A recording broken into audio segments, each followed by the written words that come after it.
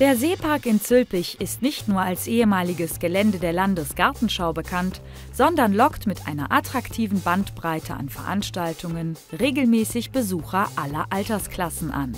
Zu den regulären Familienfesten und Events für alle Generationen präsentierte der Seepark Zülpich in diesem Jahr ein besonderes Highlight. Zum ersten Mal findet hier das äh, Zülpicher Hüpfburg Festival statt, das wir zusammen mit der Firma Breuer Event aus Niedecken veranstalten.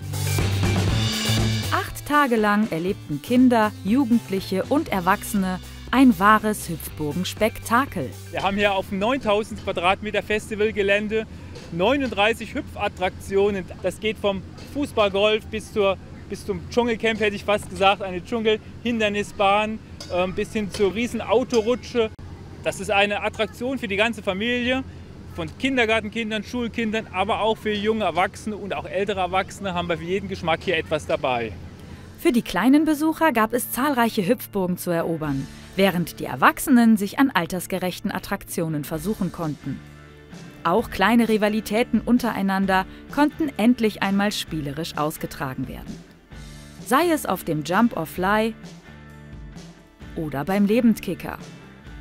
Mutige trafen sich als Gladiator im Kolosseum und auf der Tropical-Bahn galt es, Hindernisse zu überwinden. Eine Doppelriesenrutsche sorgte bei den Rutschenfans für Begeisterung.